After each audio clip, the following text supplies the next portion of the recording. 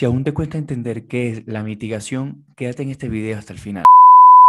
Así como lo escuchaste, si aún te cuesta entender lo que es la mitigación, quédate en este video hasta el final. Pero antes de empezar, suscríbete en este canal, regálale un profit a este video y compártelo con más traders para que se puedan beneficiar de esta gran información. La mitigación es algo que te va a ayudar a ti a potencializar tus entradas de la mejor manera. Así que empezamos.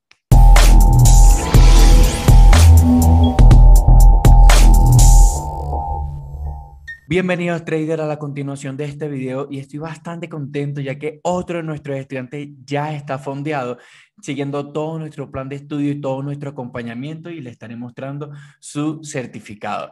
Pero bueno, empecemos. Lo que es la mitigación. Sé que has estado buscando en muchos videos o te confundirá lo que es entender qué es la mitigación y te lo voy a explicar de la forma más simple que sea posible, ya que en el trading hay dos formas de hacerlo, o lo haces simple o lo haces complejo. Y te lo voy a explicar de la forma más simple que sea posible. La mitigación no es más que un término de las instituciones para reducir pérdidas. Listo, ya no hay que buscarle más patas al gato. Es un término que utilizan las instituciones para reducción de pérdidas de las mismas instituciones.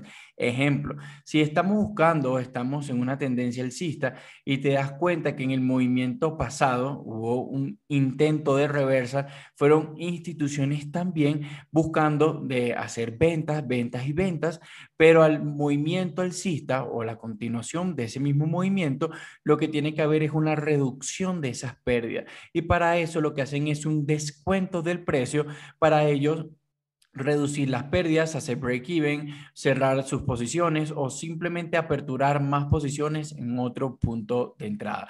Ahora, se lo voy a mostrar acá de forma muy simple. Si estamos acá en, el, en la explicación que les acabo de denotar, tenemos acá un posible cambio de reversa, es una zona de demanda y vemos cómo tenemos un impulso, un retroceso, un impulso, un retroceso y un nuevo impulso. Recuerda que el mercado se origina por tres impulsos y dos correcciones, por lo tanto, el mercado va a ir dejando mitigaciones en el pasado y va a ir dejando liquidez en el presente también. Ejemplo, cada vez que tú estés diciendo, no es que el mercado no ha tomado liquidez, es simplemente porque tiene que haber una reducción de esas pérdidas antes de haber una continuación de la tendencia que tú estés esperando.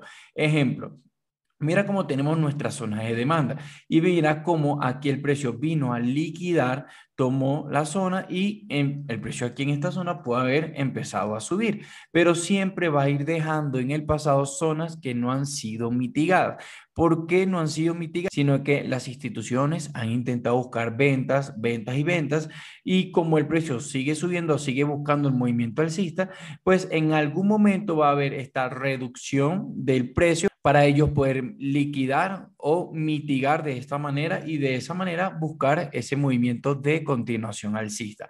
Míralo de esta manera, trader. Es muy simple como entender que cada vez que nosotros estemos buscando dos máximos iguales o dos mínimos iguales, en este caso vamos a suponer que tenemos acá dos máximos o dos mínimos iguales, y es donde nosotros decimos, ah, es que ahí tiene que haber liquidez. Sí, probablemente nosotros busquemos liquidez cada vez que vayamos a buscar estos dos mínimos iguales, pero también puede haber un imbalance. Recuerda que aquí puede haber una vela, otra vela, y entre espacio puede haber ese, ese imbalance que aún no ha sido mitigado, esa zona que aún no ha sido cerrada o buscado un balance perfecto. Quiere decir que cada vez que vayamos a ver una liquidez, una zona de liquidez, y al mismo tiempo veamos un imbalance, ok, un vacío de liquidez, que ahí es donde vamos a esperar que el precio sea mitigado para poder de esa manera buscar nuestros movimientos de continuación alcista o nuestras entradas.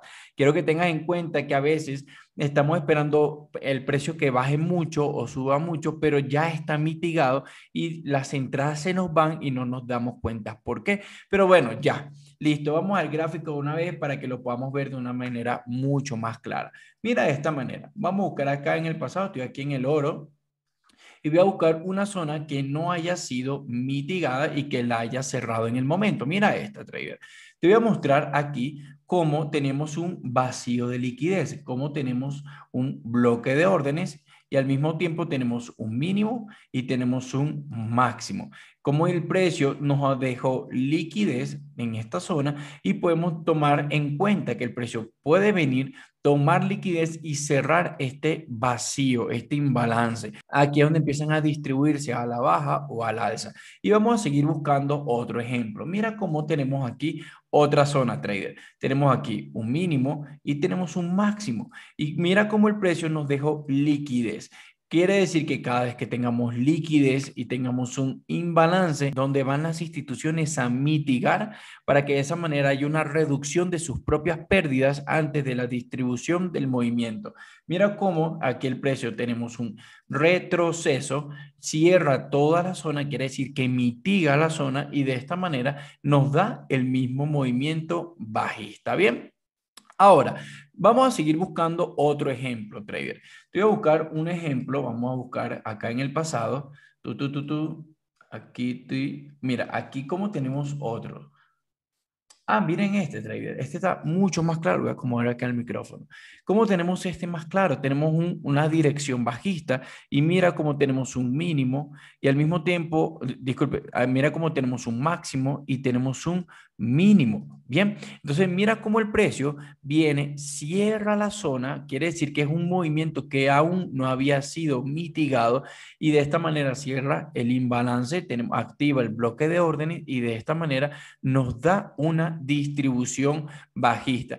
Todo el precio, cada vez que no haya un cierre de un imbalance, tiene que ser cerrado para que de esta manera haya un balance perfecto y de esta manera las mismas instituciones cada vez que tengan ciertas pérdidas las puedan mitigar o que puedan cerrar estas zonas o reducirlas, mejor dicho, para que sea el término mejor explicado, sean reducidas y de esta manera ellos puedan distribuir el precio, sea al alza o a la baja. Bien, ahora, cada vez que te des cuenta que el precio no llega a la zona que tú estés esperando, es porque ya ha sido mitigado. ¿Qué quiere decir eso, Alex? Mira, te lo explico acá.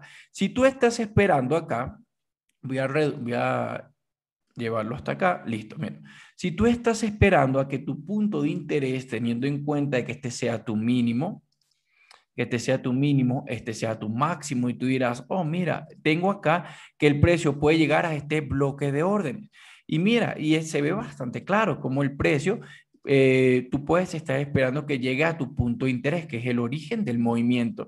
Pero ¿qué pasa cuando el precio no llega a esa zona, simplemente que sigue y sigue cayendo?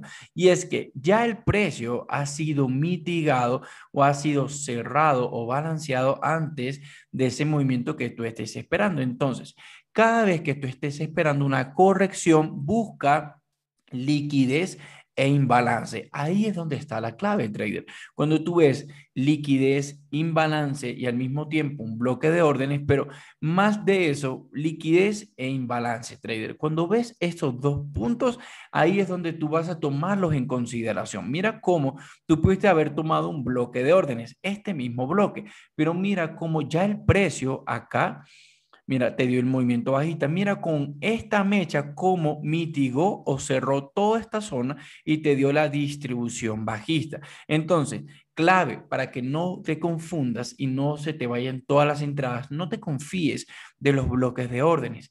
Enfócate en conocer muy bien dónde están los puntos de liquidez y, los, que te des cuenta que son zonas donde el precio puede venir a mitigar antes de distribuir hacia, el, hacia la baja o hacia la alza. Bien, entonces, así como lo vemos, lo podemos poner en práctica en cualquier activo o en cualquier movimiento, en cualquier temporalidad. Lo que yo quiero que te fijes es qué deberíamos de hacer para encontrar la liquidez. Es muy simple, trader, no lo compliques.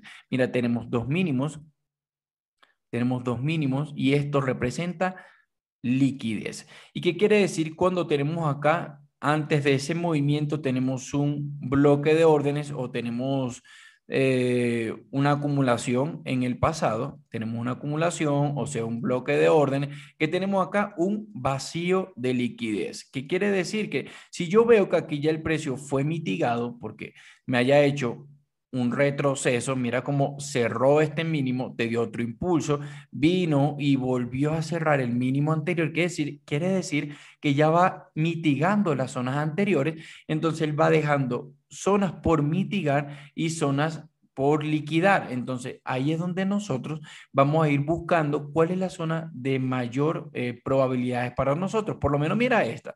Te lo pongo así. ¿Ustedes creen que yo voy a buscar este bloque de órdenes que muchos estarían buscando cuando ya fue mitigado? No lo voy a hacer porque probablemente el precio no lo respete y continúe su movimiento bajista. Mira este otro bloque, trader. Ya fue mitigado por esta misma mecha. Entonces, son zonas que yo voy descartando. Pero mira esta que aún no ha sido mitigada, quiere decir que puede ser una zona de alta probabilidad en el futuro. Si te gustó este video, así de simple te lo voy a decir, compártelo, regálale un like a este video y no sé, este Sí, compártelo, no voy a decir más nada. Compártelo, suscríbete a este canal, voy a subir mucho contenido todos los días, contenido que va a potencializar tu trading y a llevarlo a un siguiente nivel. Si te gustó este video, nos vemos en la Grandes Ligas. Let's go, baby.